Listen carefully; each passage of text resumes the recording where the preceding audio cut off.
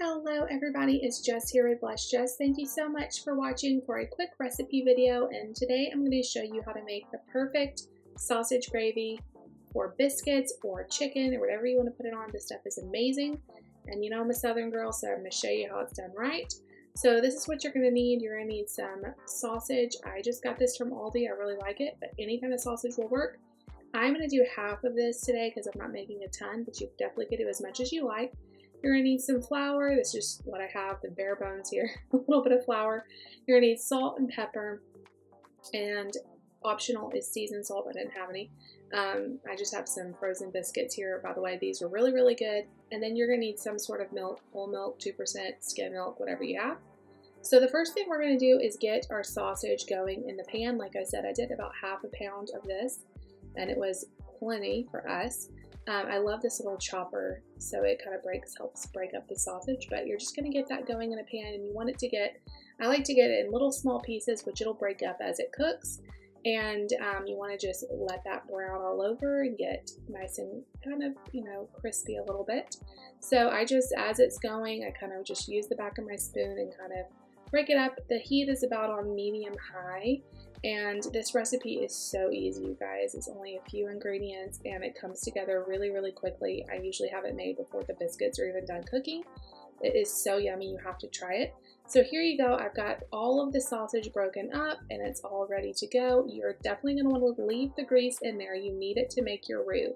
I'm adding about a fourth of a cup of flour, stirring that all together and you want to let it cook. After you stir all the flour in, you're gonna let it cook for a couple minutes because nobody wants that raw flour taste in their biscuits and gravy or their gravy.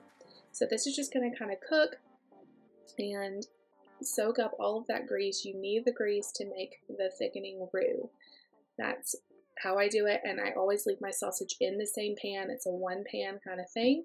So after it cooks for a little while, maybe like I said, a minute or two, you're going to add in your milk. So I start out with a two cups of milk, but I add it in a little bit at a time. So I'll add in the first cup and kind of get it incorporated, get it starting to thicken up, and then I'll keep stirring and I'll add the second cup. You can um, just, you're going to have to kind of watch it. This you can make either thicker or thinner, however you like it. We like it a little more thin so it kind of spreads out over the biscuits.